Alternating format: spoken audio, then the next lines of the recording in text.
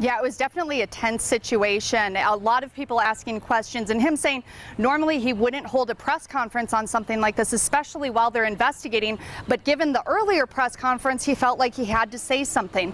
As you mentioned, Emily, he brought up the misuse of funds, the allegation of that, and he said they are focusing on child sex abuse. And so any funds that go towards preventing child sex abuse and investigating cases like this is money well spent.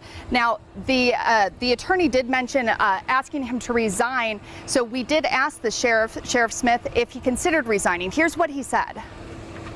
So, with that said, for what it's worth, um, neither I will not be resigning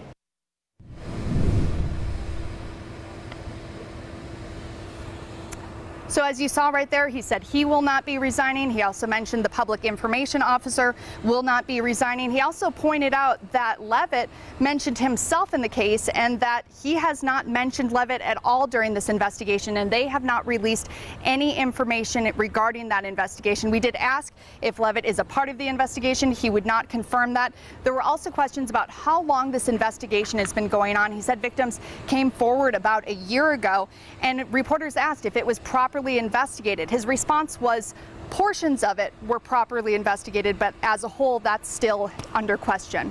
Reporting live in Utah County, Courtney Johns, ABC4 News.